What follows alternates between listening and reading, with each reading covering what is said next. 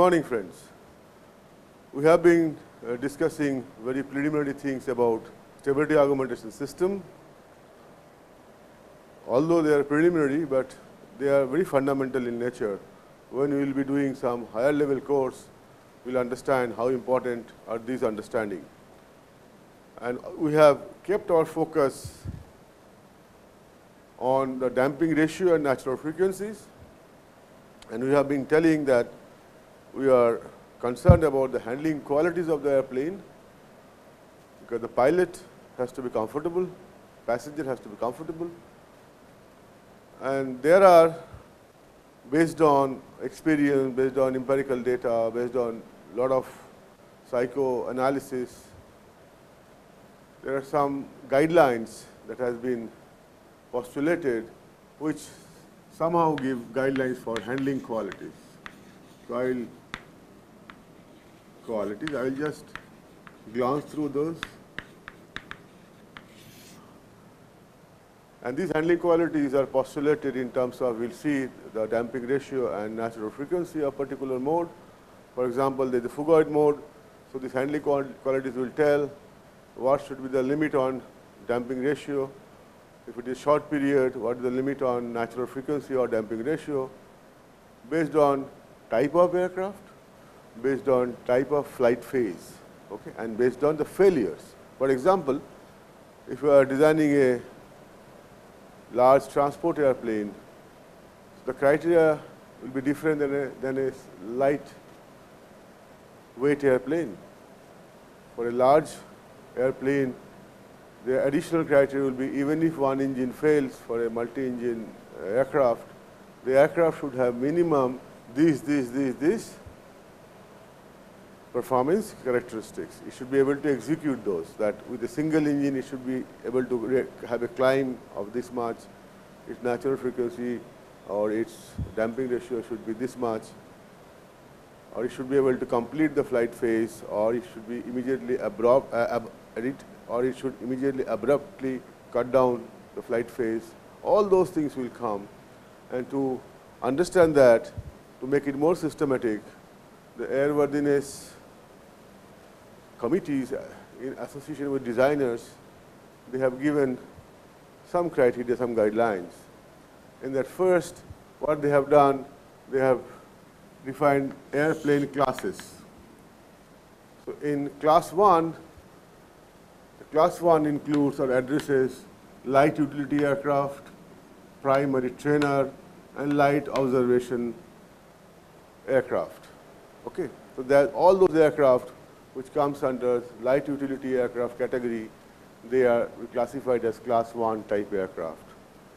In class 2 type, you have heavy utility like maybe search and rescue.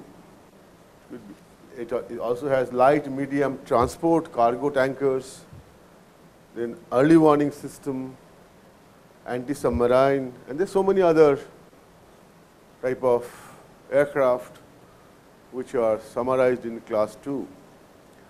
And in class 3, there are large, heavy, low to medium maneuverable aircraft like heavy transport, cargo airplane, then trainer for class 3.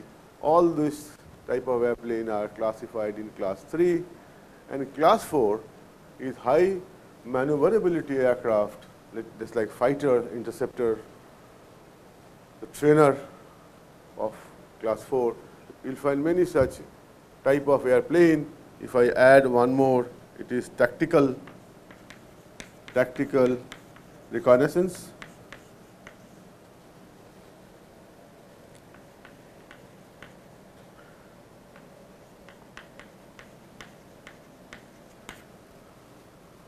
like that. Okay. So, what is the first approach? Depending upon the type of aircraft vis-a-vis type of performance required, there are 1, 2, 3, 4 category or classes of aircraft. Okay. This is one. Second comes is definition of flight phase.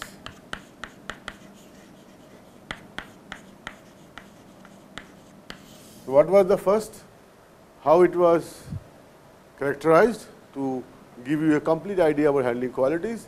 First thing was you identify this aircraft belongs to which class, class 1, class 2, class 3 or class 4. First exercise is this. And which aircraft should be class 1? You have to check. Is it light utility? Is it primary trainer? Is it light observation? Like that, you have to make a judgment and you classify the airplane. So, after the class or classification based on the type of aircraft, we are now discussing about definition of flight phase because all these handling qualities, it is not only important whether it's a light utility aircraft or whether it's a high maneuverability aircraft, we need to know about the flight phase and how they are characterized that I am now going to list out. Category A, category A and that is like air to air combat Then B, I'm listing few of them, ground attack. I've started with military aircraft, so forgive me. I do not believe in war and all. At the same time, we should be strong enough so that nobody can dare to trouble us. So it's important we know all these things. In-flight refueling,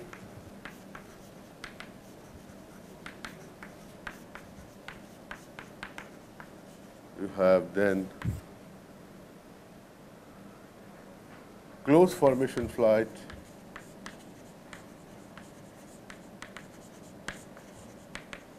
There are many you can Google through and you will get. This material I am presenting referring book by Roskam. Okay. So, this is category A which is defining the flight phase we also have category B, category B, and in that we will have climb. The flight phase is climb, cruise, loiter,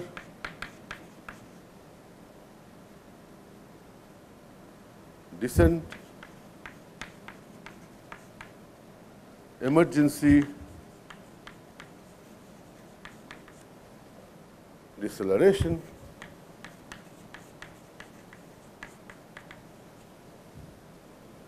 and aerial aerial delivery. I'm just mentioning few of them, right? So this is category B. That means we are now defining different different flight phases. In category A, these are the flight phase that is included in category B, climb, cruise, loiter, descent, emergency de uh, deceleration, aerial delivery, these are the flight phase, phases categorized under category B. Similarly, you have category C. In category C, you have takeoff, you have catapult takeoff, you have approach, you have landing, and many more, right? That comes for category C. So, what we have seen, how it has been handled, how the guidelines have been structured. First, look for the airplane classes, which class the airplane belongs to, looking at these attributes, if it is in class 1 or class 2, then you check the flight phases, whether it belongs to category A, that is, is it air-to-air -air combat airplane, or the, is it the air-to-air -air combat flight phase we are talking about. Similarly, if I want to go for category B, I need to look for cruise, climb, loiter, all these flight phases, and category C, the takeoff, catapult, takeoff, approach, landing, etc. These are the flight phases under each category. So, we have classes, we have categories. Now, we are talking about level. When you say level 1, it means flying qualities, flying qualities clearly adequate clearly adequate for mission flight phase. For mission flight phase, let me write the second one, then I'll explain. For level 2, flying qualities adequate adequate however or but pilot has to put extra effort.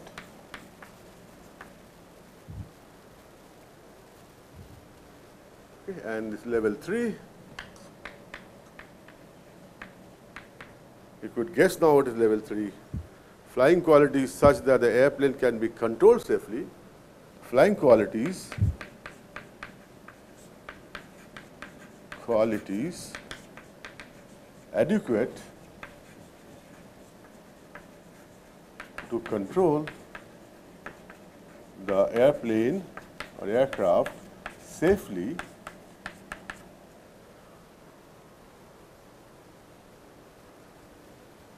However, however, excessive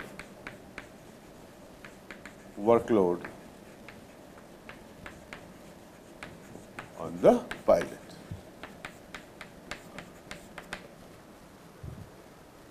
I'm not writing everything just to give the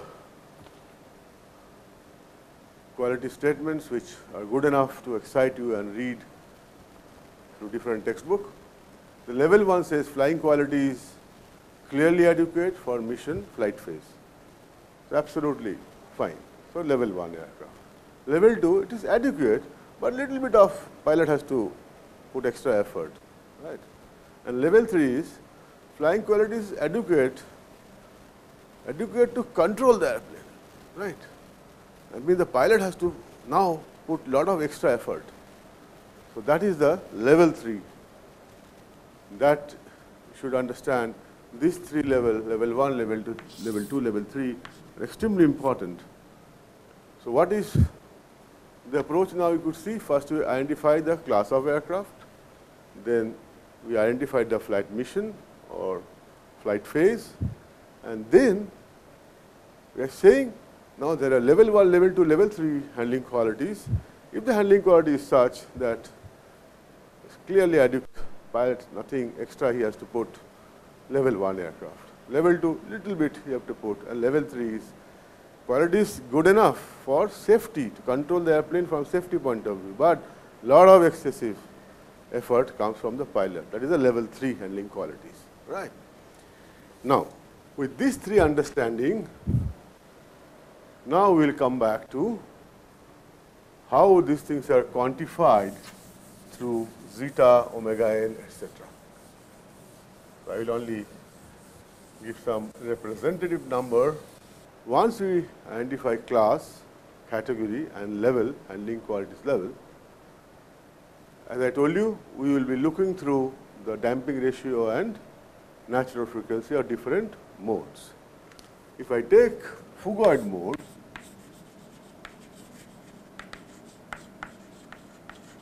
the requirement is for level 1 qualities, for level 1, you have to ensure that zeta phugoid is greater than equal to 0.04.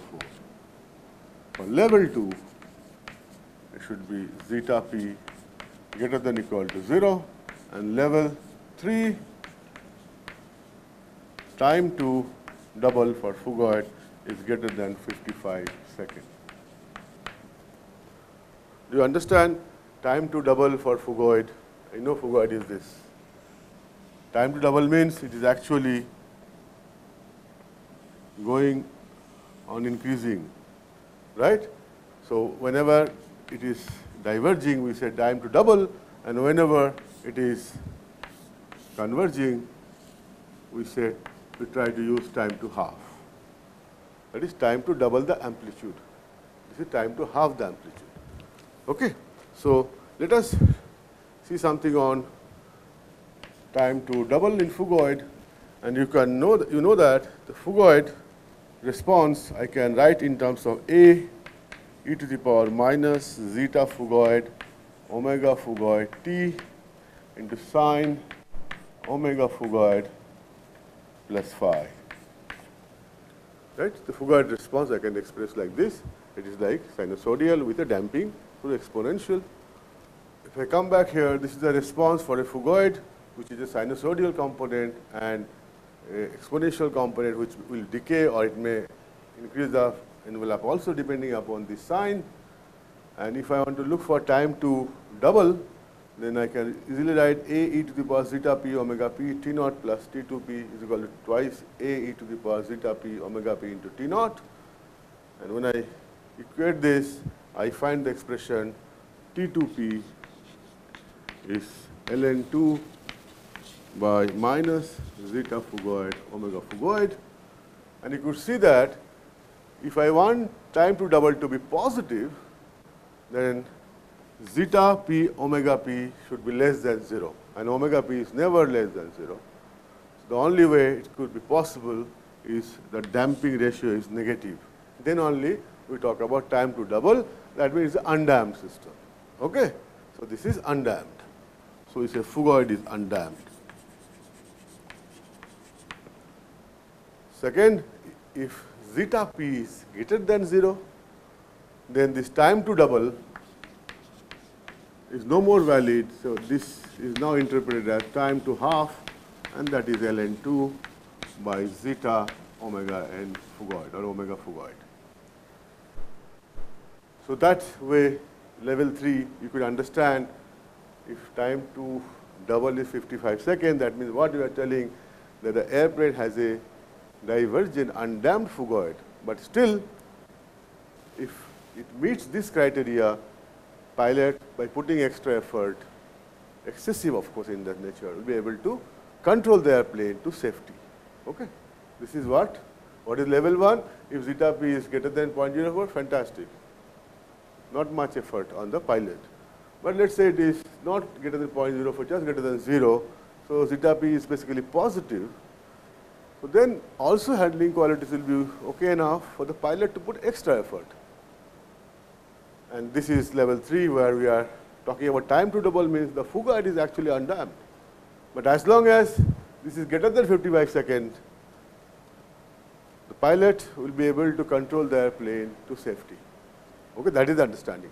So, that is the level 1, level 2, level 3 handling qualities expressed in terms of zeta and omega n for the phugoid mode. Remember that is exactly I was telling we will be postulating every requirement through zeta p on omega n. Okay. It reminds me one thing, please understand unstable does not mean uncontrollable, right. Nowadays modern aircraft are statically unstable.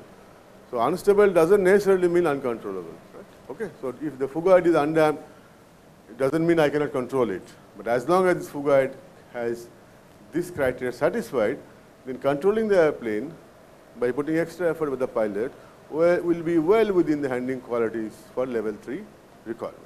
That is the understanding. Okay. Or to tell this, suppose at some altitude the phugoid damping is just 0.02.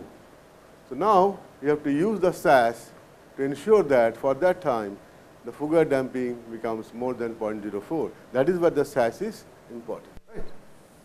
Now, this was phugoid and now we are talking about short period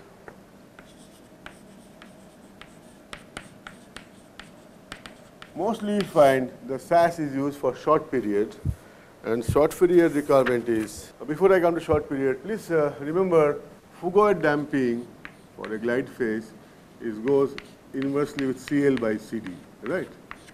So, if you want to increase the phugoid damping, best way to increase is decrease CL by CD, right.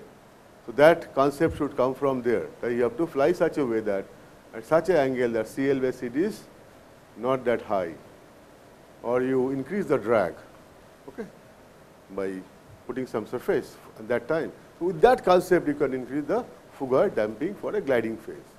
Now, let us come to the short period. When it comes to short period the requirement is this. If I draw it like this,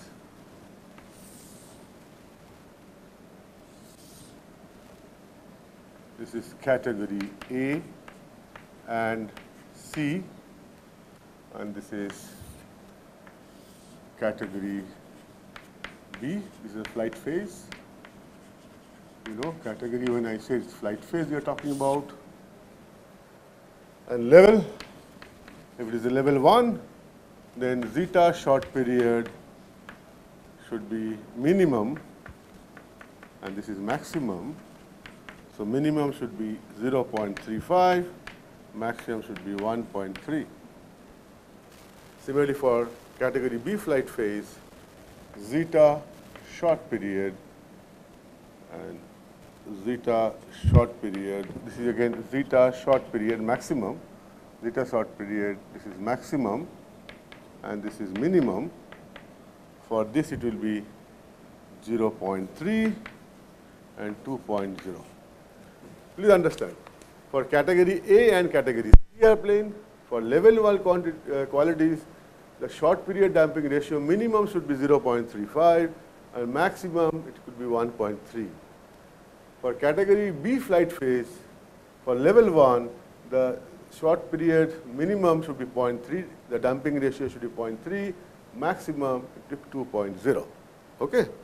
For level 2, if you see, it is similarly it is 0.25 and 2.0, here it is 0.2 and 2.0 and level 3 which is very rare, level 3, you know,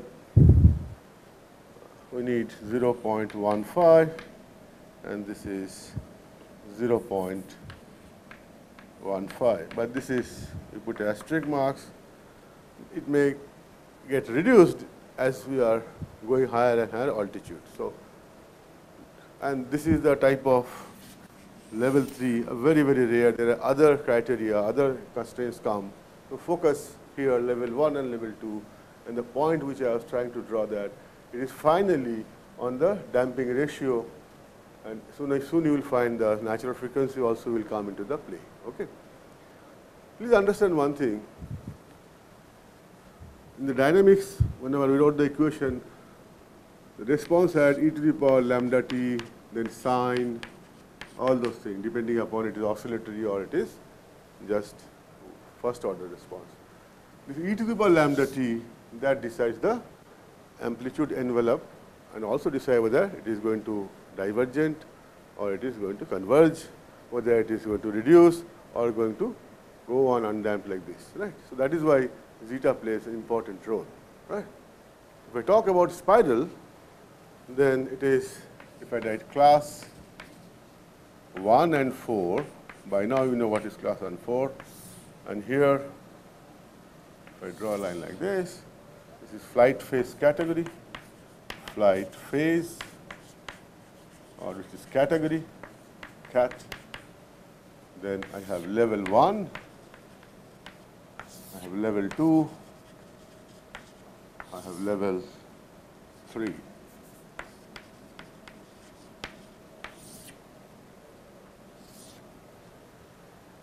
You fight for category 1 and 4 for flight phase, let me draw a line that.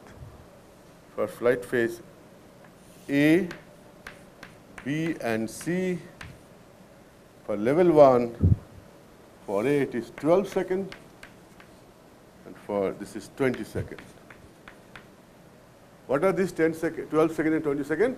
These are time to double the amplitude. Okay, we're talking about spiral. This time to double the amplitude. That means again it is saying, when you're talking about time to double means it is showing undamped, but unstable doesn't mean uncontrollable. Okay? For level 2, it is 12 second, 12 here, and here it is 12 second. And for level 3, it is 4 second, it is 4 second. Right. And for 2 and 3, 2 and 3 class of airplane, this is flight phase all, all flight phase, A, B, C. This is 20 second, 20 sec, eh, 12 second, and this is 4 second. Right? And you could see when I'm giving a guideline to the designer to ensure the handling qualities as per level 1, level 2, level 3, what I'm telling to the designer, ensure that if you want a level 1 performance, then time to double should be of these values for category 1, category 2, category 4. And when I am talking about time to double, that means I am talking again in terms of zeta and omega n. Right? You have seen the expression of time to double. Okay? And this is typically, if you are allowing it to double, I am talking about spiral divergence, undamped. Okay? And these are, of course, when I say these seconds, this is minimum time to double. These are all, you understand that minimum time to double. Why it is minimum? Because if it is too fast, then it will be difficult to control. Right? So that is why the restriction is on minimum time to double. So after spiral, we will again come back to I will strongly suggest you people should read or Google search and have more insight. After spiral, now we will see minimum minimum Dutch roll frequency and damping. Let me write. Again, this is level. Again, it is flight phase, which is category. Flight phase. Then comes class. You see, we have been always talking about this thing, class. And then it is minimum zeta Dutch roll this is minimum zeta Dutch roll, omega Dutch roll, natural frequency Dutch roll. Also minimum omega Dutch roll frequency. It is postulated or the specifications are given like this. If it is for level 1 qualities we are looking for and if you have, let me draw a line if you have two types of class, one A, one B. This is class 1, class 4, class 2, class 3. Then these values are for 1 and 4, it is 0.19 minimum, here also 0.19, here 0.35, again 0.35, this is 1.0 and this is 0.4. This uh, 0.4 star we have put, this may change based on the customer's requirement. Uh, these are finer details. So you please try to understand for the level 1 handling quality, they have been specified now by minimum Dutch roll damping ratio, also the product zeta d omega d and also minimum Dutch roll frequency in radians per second. For B, it is all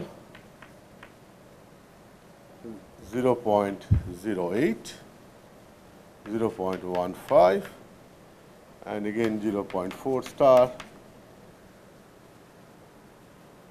For C, for flight phase C, again you will see that for 1, 2, and 4 it will be 0.08 0.15 this is 0.08 0.15 and 1.0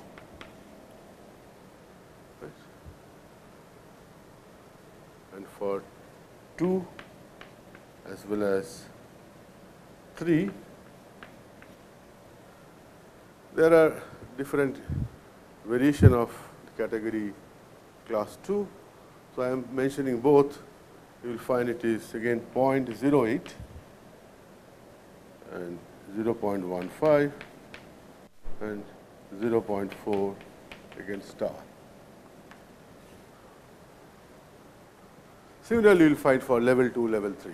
So, I do not want to really make your life miserable by going on writing all this. What I wanted to communicate to you was, when you are talking about the handling qualities, you have seen for phugoid, for spiral or for Dutch roll, these are primarily decided by the damping ratio and natural frequency or their combinations. Those who are interested to know exact numbers, I suggest them read latest airworthiness requirements. You can Google search, go for textbook. These numbers goes on changing depending upon the technology, depending upon the control system you have got. Okay, these are the, some guideline numbers, right? What is the important message is we need to know how to find zeta d and omega n. We also need to know how can I change zeta d and omega n because I know the zeta or damping ratio changes with speed, changes with altitude, right? You cannot design an aircraft by laying out this component where zeta will not change because zeta depends upon density, speed. So, whenever you require the different values of zeta and omega or different handling qualities, the SAS is very handy, right? That is why we are designing SAS. Okay.